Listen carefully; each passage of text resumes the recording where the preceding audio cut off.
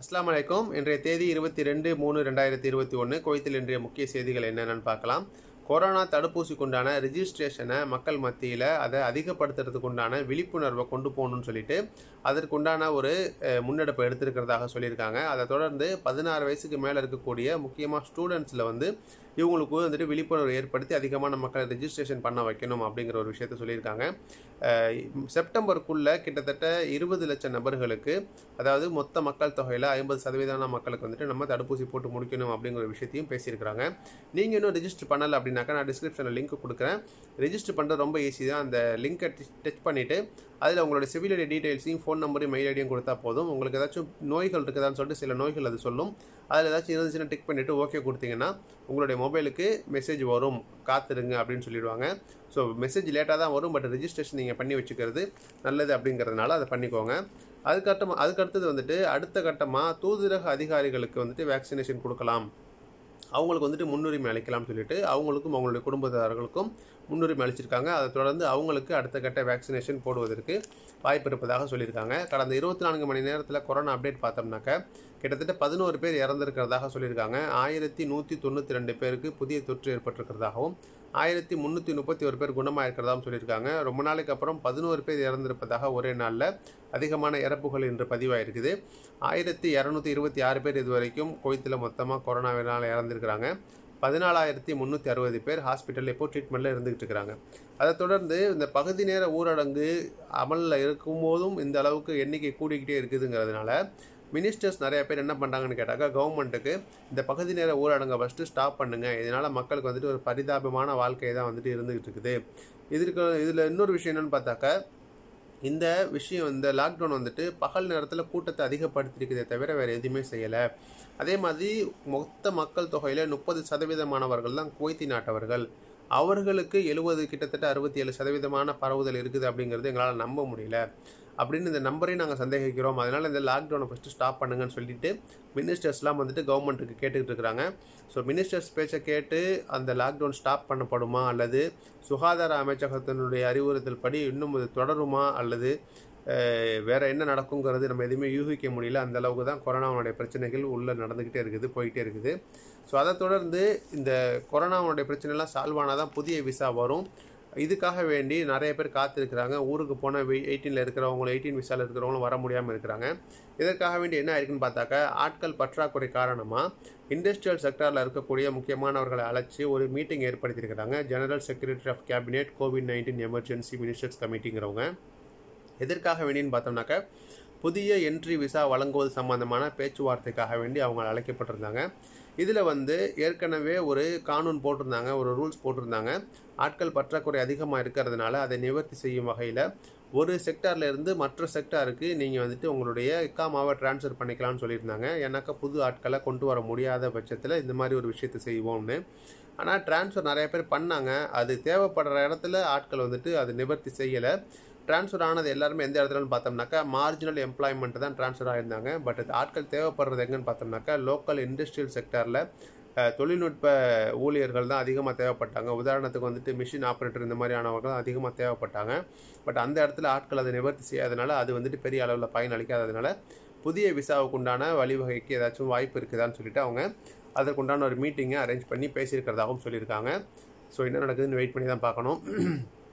அடுத்தது இந்த கொரோனா பரவுதல் சம்மந்தமாக ministry of public work MPW இவங்க என்ன பண்ணியிருக்காங்கன்னு கேட்டாக்க அங்கே இருக்கக்கூடிய கிட்டத்தட்ட பதினாலாயிரத்தி எட்நூறு ஊழியர்களுக்கு அங்கே வந்துட்டு பரவுதல் வந்துட்டு வரக்கூடாதுங்கிறதுனால என்ன ஒரு அறிவுறுத்தல் கொடுத்துருந்தாங்கனாக்க ஒரு ஆஃபீஸ்லேருந்து ஒரு கேபினெட்லேருந்து இன்னொரு கேபினுக்கு நீங்கள் போயிட்டு இன்னொரு ஆளை சந்தித்து பேசாதீங்க. எந்த ஒரு முக்கியமான அவசர விஷயமா தவிர வேறு எதுக்காக நீங்கள் அந்த மாதிரி போகாதீங்க அப்படிங்கிறத சொல்லியிருக்காங்க.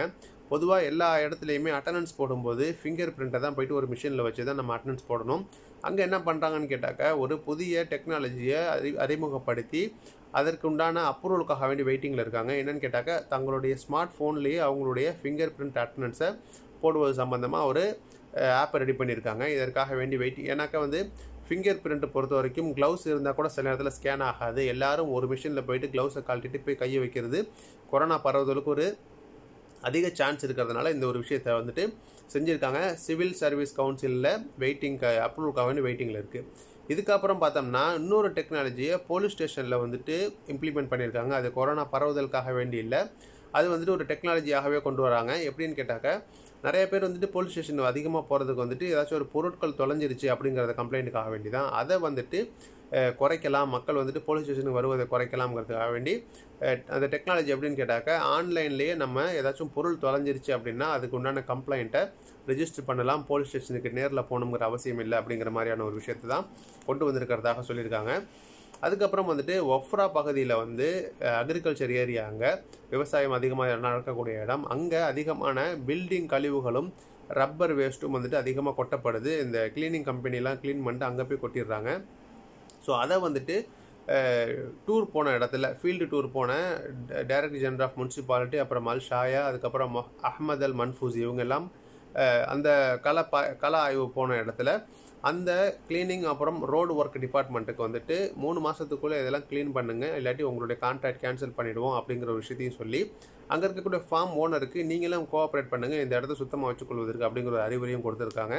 ஸோ அதுக்கடுத்த நியூஸ் என்னென்னு பார்த்தோம்னாக்க நம்ம குவைத்தினுடைய foreign minister doctor Ahmed Nasser Al Sabah இவங்க வந்துட்டு சுற்றுப்பயணத்தில் இருக்கிறாங்க. அதில் வந்துட்டு இந்தியாவுக்கு போயிருந்தாங்க. இந்தியாவுக்கு வியாழன் மற்றும் புதன்கிழமை மற்றும் வியாழக்கிழமையில் அங்கே இருக்கக்கூடிய ஃபாரின் மினிஸ்டரை சந்தித்து பல விஷயங்களை பேசினாங்க. இந்தியாவுக்கும் குவைத்துக்கு உண்டான உறவுகளும் அது சம்மந்தமாக பல விஷயங்களும். அதுக்கு அடுத்தது பாகிஸ்தானுக்கு போயிட்டு இஸ்லாமாபாத்தில் ஃப்ரைடே மற்றும் சாட்டர்டேயில் அங்கே இருக்கக்கூடிய பிரைம் மினிஸ்டர் சந்தித்து பல விஷயங்களை பேசினாங்க. அதுக்கப்புறம் என்ன இருக்குன்னு பார்த்தோம்னாக்க அந்த பிரைம் மினிஸ்டர் வந்துட்டு கொரோனா தடுப்பூசி எடுத்துக்கிட்டாங்க. சைனீஸினுடைய வேக்சினான சினோஃபார்ம் அப்படிங்கிற கோவிட் நைன்டீன் வேக்சின் எடுத்துக்கிட்டதுக்கப்புறம் அவங்களுக்கு கொரோனா தொற்று இருப்பது உறுதி செய்யப்பட்டிருக்கு. பாகிஸ்தான் பிரைம் மினிஸ்டருக்கு அதை தொடர்ந்து குவைத் பிரைம் மினிஸ்டர் என்ன பண்ணியிருக்காங்க கோ- குவைத் ஃபாரின் மினிஸ்டர் என்ன பண்ணியிருக்காங்கன்னு கேட்டாக்கா தன்னை தானே ஐசோலேட் பண்ணிக்கிட்டு தனிமைப்படுத்திக்கிட்டு கூட இருந்த எல்லாருமே வந்துட்டு தனிமைப்படுத்திக்கிட்டு டெஸ்ட் எடுத்து பார்த்துருக்காங்க. நெகட்டிவ்னு வந்திருக்கிறதாகவும் சொல்லியிருந்தாங்க. ஸோ கொரோனா வேக்சினுங்கிறது ஒரு தடுப்பூசிங்கிறது கொரோனா வேக்ஸ் கொரோனா வைரஸ் தான் அது அதை நம்ம உடம்புல செலுத்தும் போது நமக்கும் வந்துட்டு கொரோனா பாசிட்டிவ்னு வந்துட்டு ரிசல்ட்டில் வர்றது சகஜம்தான். ஸோ இது ஒரு முக்கியமான விஷயமா சொல்லியிருந்தாங்க அதில். ஸோ அதுக்கு அடுத்த நியூஸ் என்னென்னு பார்த்தோம்னாக்க யூஏஇ வந்து ஒரு புது வகையான ஒர்க்கு விசாவை வந்துட்டு அப்ரூவல் பண்ணியிருக்காங்க. அது எப்படின்னு கேட்டாக்க இப்போது பொதுவாக ஒர்க்கு விசாங்கிறது அந்த நாளுக்கு போயிட்டு அந்த நாட்டில் இருக்கிற கம்பெனியில் ஒர்க் பண்ணுவோம். அதுக்கு பேர் தான் ஒர்க்கு விசா பட் இப்போ என்ன பண்ணுறாங்கன்னு கேட்டாக்க யூஏஇயில் இப்போ நம்ம ஒர்க் ஃப்ரம் ஹோம் இருக்கு இல்லையா? வீட்டில் உட்காந்துக்கிட்டு அந்த ஒரு கம்பெனிக்காக வேண்டி நம்ம வீட்டில் இருந்துட்டு ஒர்க் பண்ணுவோம் இல்லையா? அந்த மாதிரி துபாயில் நீங்கள் யூஏஇயில் நீங்கள் விசா வாங்கிட்டு அங்கே போயிட்டு அங்கே இருந்துக்கிட்டு ஒர்க் பண்ணலாம். பட் அந்த கம்பெனி துபாயில் தான் யூஏஇயில் தான் இருக்கணுங்கிற அவசியம் இல்லை. உலகத்தில் எந்த நாட்டில் இருந்தாலும் நீங்கள் என்ன செய்யலாம்? அங்கே போய் இருந்துக்கிட்டு ஒர்க் விசா வாங்கிட்டு அங் அந்த வேறு ஒரு கம்பெனிக்காக வேண்டி அந்த ஊரில் இருந்து ஒர்க் பண்ணலாம் அப்படிங்கிற ஒரு விஷயத்தை கொண்டு வந்திருக்காங்க. இது வந்துட்டு அங்கே வரக்கூடிய மக்களை வந்துட்டு வரவழைக்கிறதுக்கு உண்டான ஒரு விஷயந்தான் இது வந்துட்டு அப்ரூவல் பண்ணியிருக்கிறதாக சொல்லியிருக்காங்க. ஸோ அதுக்கு அடுத்து ரெண்டு முக்கியமான நியூஸ் என்னென்னு பார்த்தோம்னா தோஹா பகுதியில் இருக்கக்கூடிய தோஹாக்கு எதிரில் இருக்கக்கூடிய கடற்கரையில் ஒரு சடலம் வந்து மீட்டெடுக்கப்பட்டிருக்கு. இறந்த நிலையில் மிதந்த நிலையில் மீட்டெடுக்கப்பட்டு அது யார் என்னென்னு அடையாளம் தெரியலை. ஸோ வந்துட்டு தடையவியல் நிபுணர்கிட்ட அவர் கொடுத்துருக்கிறதாகவும் மேலதிக விவரம் எதுவும் தெரியவில்லை அப்படின்னு சொல்லியிருக்காங்க. கடைசி நியூஸ் என்னென்னு பார்த்தோம்னாக்க அதான் பகுதியில் ஒரு குவைத்தி வீட்டில் ஒரு ஒன்றரை வயசு குழந்தை வந்து அந்த குளியல் டப்பில் தலை குப்புற விழுந்து இறந்துடுச்சு. பட் என்ன செஞ்சிட்டாங்கன்னு கேட்டாக்கா அந்த மெய்டு வந்துட்டு எத்தியோப்பியா நாட்டுக்காரவங்க அவங்க தான் கொலை பண்ணிட்டாங்க அப்படிங்கிற ஒரு விஷயத்த போயிட்டு சொல்லி அந்த ஸ்பான்சர்ஸ் வந்துட்டு செஞ்சுருக்கிறாங்க.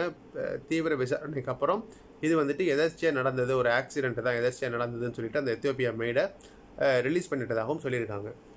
இந்த செய்திகள் உங்களுக்கு பயனுள்ளதாக இருக்கும்னு நினைக்கிறேன். உங்களுடைய நண்பர்களுக்கும் ஷேர் பண்ணுங்கள் நன்றி.